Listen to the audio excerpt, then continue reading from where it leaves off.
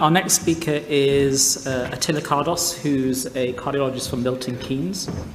Um, he's going to be talking about low flow, low gradient with normal preserved ejection fraction.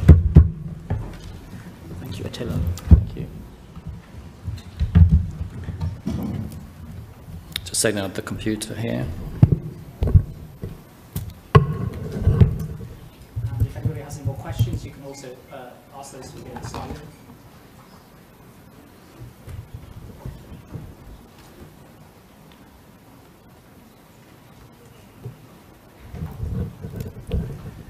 Right. Uh, chairperson and uh, colleague and uh, attendees. Um, uh, the title I was given today to talk about it was uh, uh, aortic stenosis, low flow, normal ejection fraction. I was thinking about so what can I do with this? It's one of the most boring topic one can have uh, given to talk about. I try to translate into really talking about the products low flow, low gradient severe stenosis. These are patients with normal left ventricular function but uh, have got low flow uh, uh, in the uh, area to measure and have got severe valve stenosis. I hope you won't be bored to death. I try to make it a bit more educational. And that will be the outline that I would like to cover today to uh, talk about the evolution of grading of aortic valve stenosis in general, to be able to understand the uh, paradoxical low flow severe aortic stenosis uh, phenotype development. And I will, uh, I, will, I, will, use the paradoxical low flow severe aortic stenosis uh, interchangeably with the PLF, just to uh, have a bit of a short abbreviation of that. Uh, I would like to cover also the uh, uh, uh, uh capture of the prevalence of uh, the PLF severe crustis phenotype and understand a bit, is this a problem of the measurement or is it the real phenotype? minimizing error of measurements of the continuity equation related components of the LVOT area, LVOT VTI and aortic VTI, would it make any difference if those patients who have been uh, detected after the appropriate uh, measurements of uh, aortic valve area by the uh, uh, uh, correctly used continuity components remained in the PLF severe carcinosis group of patients, who will be these patients? What's the clinical parameters of these patients? And does it matter? What's the prognosis of these patients? Do we need to work, worry about these patients at all? And we'll finish it off by uh, talking about the management of these patients with uh, products, uh, low flow severe valve stenosis patients as per recommendations and guidelines. Almost certainly I will overrun, but I just put one more last point in there uh, if you have got some time to talk about it. Very happy to put in a context of our latest research. So what's the evolution of aortic valve stenosis grading? In general, this goes back 42 years ago when uh, JKO from the States uh, has uh, run the validation study of the continuity equation against the uh, Gorlin equation. And they, they uh, aortic valve area was set uh, after this validation at 0.75 to describe severe aortic valve stenosis. The mean gradient, they said, it will correlate with more than 50 mils mercury. In 1998, that's 10 years later, uh, only when the AAG and ACC, guidelines have uh, uh, defined the uh, definition of grades of aortic valve stenosis to mild, uh, more than 1.5 uh, centimeters square, moderate between 1.1 and 1.5, and severe to 1 or less than 1 centimeter square. Note that they have not really uh, uh, used for grading purposes, either peak velocity or the mean gradient. In 2006, the same similar authors uh, as, as, as the, 20, the 1998 guidelines writers uh, have uh, incorporated now, based on the clinical outcomes, the peak velocity and the mean gradient, in addition to the effective orifice area by the continuity equation into their guidelines. And they come up with this table that we do use all the time in our daily practice. of course, this has been reiterated and used in, uh, in the subsequent guidelines throughout, up to the 2020 and 21 guidelines as well, lately published both ACC and the European Society. But by uh, forcing into category of variable the uh, velocity, the area, and the gradient, mean gradient, we are committing ourselves to a problem because there will be patients who will have uh, aortic valve area by a, a contractilation of less than one centimeter square, but they will have lower mean gradient than 40, and they will have lower velocity than 4 meters per second. So discrepant aortic valve stenosis patients have not been really highlighted and appreciated in these guidelines. and why should that have? There was no data out there to, to, to, to, to, to, to do and to say anything about this up till 2007. That's the time but a seminal paper by uh, Hachicha by the Pibarot Group in, in Canada has uh, uh, looked at this discrepant severe aortic valve stenosis patients. That is the products low flow, low gradient severe aortic valve stenosis patients, despite of preserved ejection fraction. they looked at the uh, uh, clinical characteristics of these patients and looked at their outcome. And that was a seminal paper where the paradox low flow, low gradient severe clusters have been introduced. But look at that, not until five years later, the guidelines picked up on this. So in 2012, the European guidelines have now endorsed and acknowledged the, par uh, the paradox low flow, low gradient severe vasculitis was this nomenclature, and uh, uh, uh, from then onwards, it has been taken over and continued in all the rest of the valvular heart disease management guidelines. So what's the prevalence of this uh, phenotype? Now, I've uh, listed and uh, borrowed some of the images from, from, from, a published paper. The, all, all, the three phenotypes that we are talking about, and you have heard some of my colleagues talking about the low flow, low gradient severe carcinomas with reduced ejection fraction, which I will take out from there because this is not a topic of discussion for me today. The normal flow, classic normal flow high gradient stenosis patients are the one that we do like to talk and, and see the most because that's a very easy and simple uh, uh, uh, uh diagnosis to make based on the aortic valve less than one centimeter square, the mean gradient was more than 40, peak gradient more than four, and of course preserved LV systolic function and the stroke volume higher than, the stroke index higher than 35 milliliters per uh, meter square. That classic uh, uh, normal flow high grade uh, uh, uh patients group represents around between 50 and 70 percent of the severe carcinosis patients group. Our topic of discussion today is the low flow, low grade severe carcinosis, the paradox, paradoxical low flow severe patients group. They are the ones that are characterized by aortic valve area of less than one centimeter square. That's the effective orifice area by continuity activation. The flow less than 35%, uh, the mean gradient less than 40 parts mercury, and the peak velocity less than 4. And of course, normal systolic function or preserved left ventricular systolic functions. They represent, depending on the literature that you take, uh, between 5 and 25% uh, of the uh, severe aortic valve stenosis population. so that's the uh, uh, uh, graphical presentation of our paradox low flow severe carcinosis patients group and the components that we do need to uh, uh, measure uh, during our acquisitions to then to make that phenotype, uh, the diagnosis of this, this phenotype. And that is our left ventricle outflow tract area, measured from the left ventricle outflow diameter.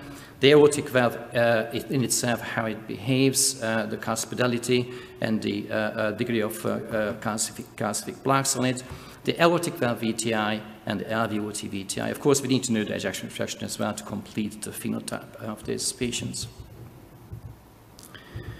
So who are these patients? So the clinical profile of these patients are the one uh, who have got reduced arterial compliance, usually related to atherosclerosis or increased uh, systemic resistance, for example, due to hypertension, but also valvular arterial impedance. They are female uh, uh, in preponderance and have got small body surface area, small left ventricle size, and left ventricle uh, outflow tract area. And these two uh, are very important because if they were to be considered for valve replacement surgery, these are the two parameters that are making these patients more prone to develop patient prosthesis mismatch. And of course, coexisting conditions of these uh, paradox low flow severe carcinosis patients could be uh, uh, partly contributing to this phenotype, that's atrial fibrillation, mitral valve regurgitation, or restrictive filling patterns.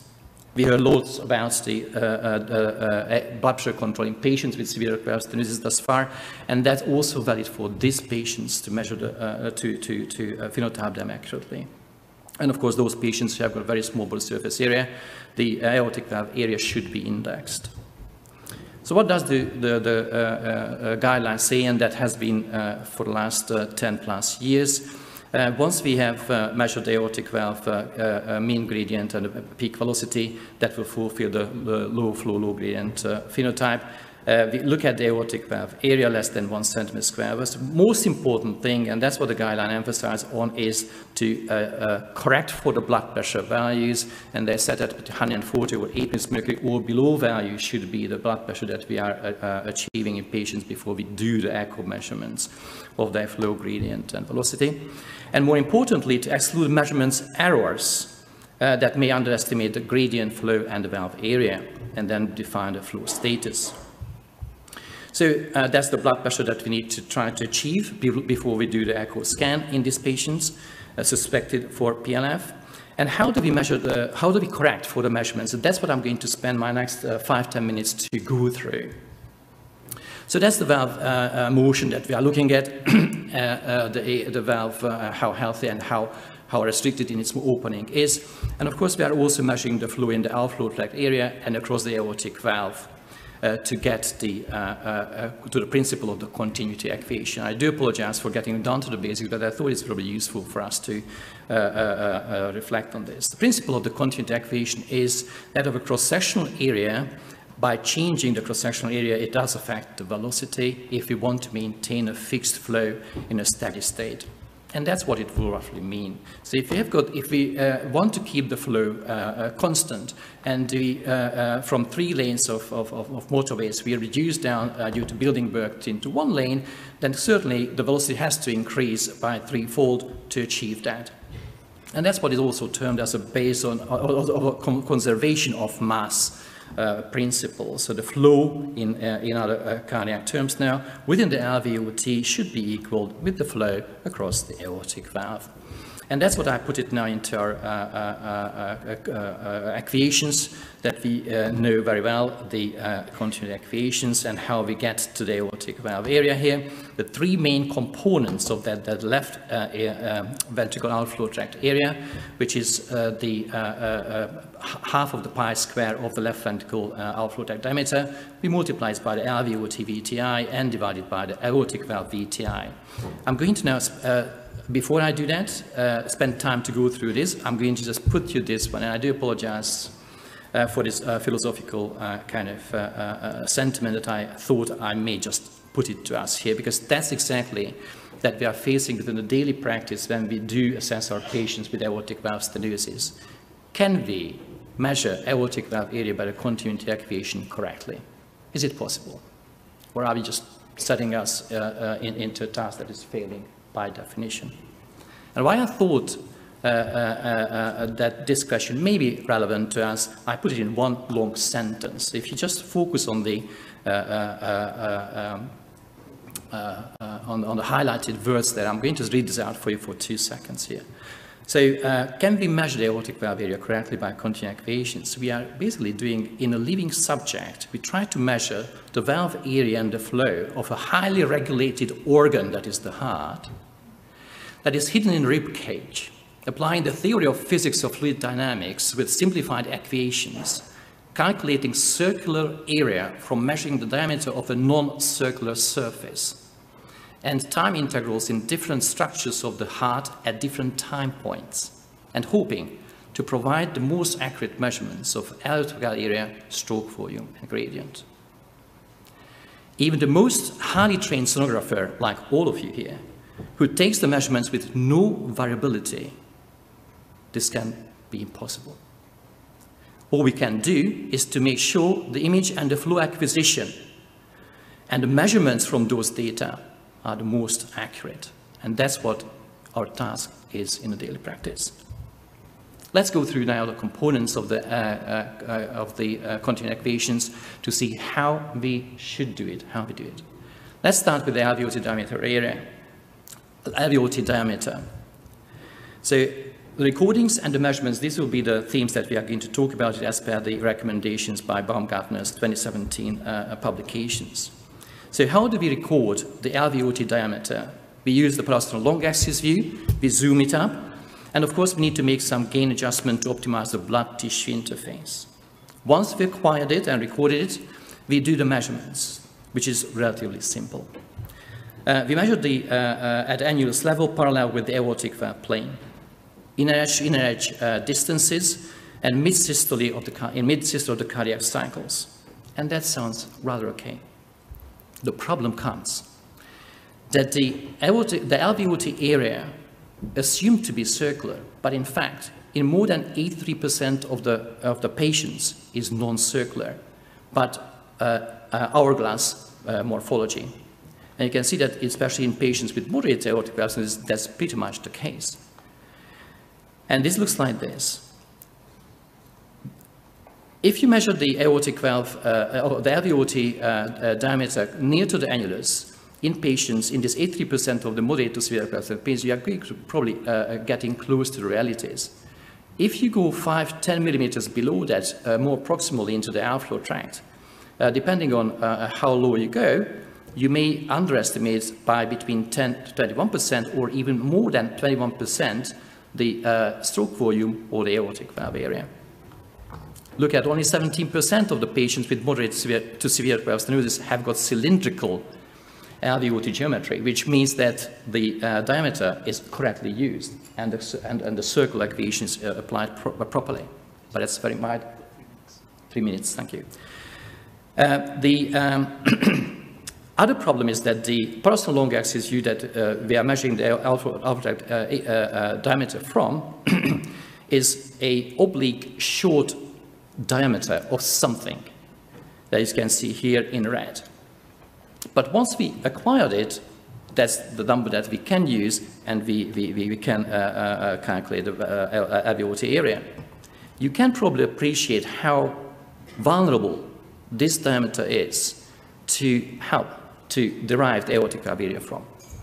Recommendations, therefore, as a solution, uh, say that we have to just measure the LVOT diameter at the annulus level, we can use the hybrid method, where I think one of the speakers already alluded to, where the, CT, where the LVOT area is derived from the CT uh, uh, CT uh, uh, planimetry, and then it's uh, uh, implemented into the continuity equation to accurately describe the LVOT area. This is all the additional test, additional expenditure, radiation potentially involved, and if it's done by TOE, it's semi-invasive. And that's what the uh, group has shown to us. The other issue that we can do to uh, uh, help the LVOT diameter is to use a correction factor. And I do apologize spending some time on this because that's our research group's uh, achievement that we have uh, looked at in 400 patients with uh, cardiac CT images where we have derived uh, the correction factor from and we, a single number to our major surprise came 1.13 that if we multiply the, the left ventricular diameter with uh, we are uh, uh, able to have a much better correction or, or corrected LVOT area that reclassifies patients from severe valve stenosis to moderate stenosis by 39%. And this could be uniformly used in a wide range of patients uh, uh, uh, that we have shown in our reported report. And that's what it looks like. So we, in multiplicity reconstructions, we have measured the LVOT, LVOT diameter, mimicking as an echographic parasternal long axis view. And we also measured the planimetry of the LVOT area that we then forced into a circle, assumed to be a circle, and we derived a diameter from it. And this derived diameter we divided by the measured diameter uh, to then to uh, uh, define the correction factor. We then validated this on a French uh, uh, severe carcinosis dataset registry, on 1,450 uh, severe transient patients and what we, with normal ejection, normal ejection fraction. And what we found is that 39% of these patients have been reclassified from severe to moderate aortic stenosis patients. Those who have been reclassified uh, to moderate aortic stenosis, they had much better outcome. Patients with low flow uh, using the correction factor have been uh, reclassified by 77% into normal flow uh, uh, patients group. And you can see again, it had a prognostic implication. LVOT VTI, how we do measure the second component. Of course, we record as an apical five-chamber view and three-chamber view uh, with a uh, pulse uh, wave Doppler velocity. The sample volume should be placed at a valve level and then to retract it proximally until aliasing disappears and smooth linear velocity curve spectral envelope is visible. The sweep speed should be 50 to 100 millimeters per second. And then the measurement itself is straightforward in contouring these uh, uh, uh, signals. The continuous, the AV, aortic valve VTI uh, is using the continuous wave Doppler velocity assessment, recording again 5 3 chamber U. I would just raise the awareness and important point to make it accurate. We need to do it from several views of the, of the aortic valve, uh, uh, uh, aortic valve. And that should require us to use the non-imaging probe, the Pedoff probe, to, uh, from the apical five chamber uh, the right parasternal views and the suprasternal views to get the uh, appropriate and the highest velocity we can have because that's the most important part of the aortic valve VTI measurements to not to introduce measurement error. So that's where we are now. So uh, basically, a summary slide on the bottom here says that uh, the aortic, the aortic, the LVOT uh, uh, uh, area is easy to record by measuring the diameter. The measurement is easy, but there's high level of inaccuracy by assuming the non-circular geometry. That could be helped by either a hybrid method or the correction factor introduction. The LVOT VTI recording is easy if you know how to do that measurements is simple and a low level of inaccuracies. The, the, the aortic valve VTI, the recording is difficult, and we have to uh, uh, use the Pedoff probe to, to acquire the highest velocity here.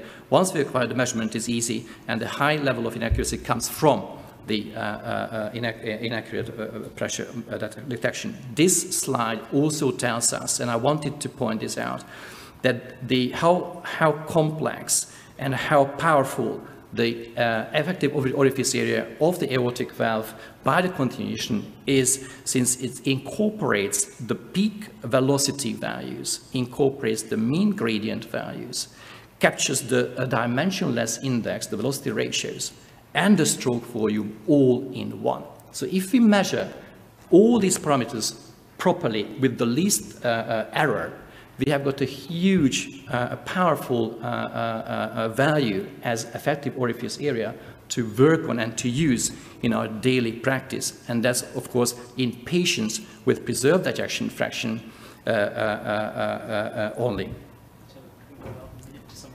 I have got one minute to summarize, and I, am halfway through my talk, so I probably just jump now to the summary. The bottom line is that basically those patients who are classified into the PLF severe patients, the current guidelines recommend to uh, perform a, a, CT angiogram to look at their valve calcification because the calcification of the aortic valve is correlating very well with the severity of aortic valve stenosis.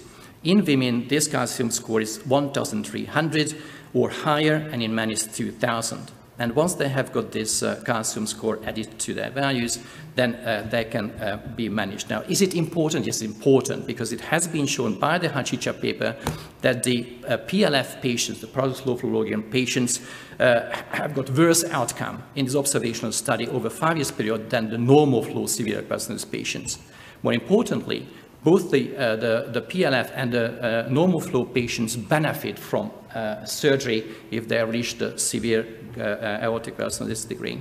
And that's the meta of the 18 observational studies that have been recently well, published 15 years ago, to then to show exactly that the mortality uh, of the low flow, low gradient patients or PLF patients is worse uh, compared to the other phenotypes. And uh, they will all phenotypes in, in, particular, but also the low flow gradient patients will benefit from aortic valve surgery compared with medical treatment. And that's the two uh, major guidelines by ACC and European guidelines have now uh, listed the paradoxical flow Logan patients populations for uh, um, uh, uh, uh, class one recommendations in the states based on non-randomized control trials with this pooled meta observational studies meta-analysis. And the European says that intervention should be considered in PLF patients at a 2A class level. So that's the summary slide. You can read, I can see the home take-home message probably is within that. Paradox low flow severe tuberculosis patients is a new entity, only 10 years old. The paradox low uh, prevalence of this condition is 20-25%. The accurate recording of, uh, and the measurements is essential because that's the crux of the whole problems. Uh, PLF, severe aortic speech, has very poor prognosis and can be modified with intervention, class 1 and 2A. And that will be my next part of the talk, which I'm not going to, to, to give now, is that whether the, the flow should be taken as a phenotyping uh, tools or whether we should use it as a prognostication tool. And that's uh, uh, uh, based on studies that we have been involved in as well. And uh, the provocative test is, do we need a phenotype of PLF or not? Or shall we just use them as severe symptomatic aortic valve patients as one group? I will stop here because that's my 10 extra minutes that I can't do for you. Uh, thanks so much.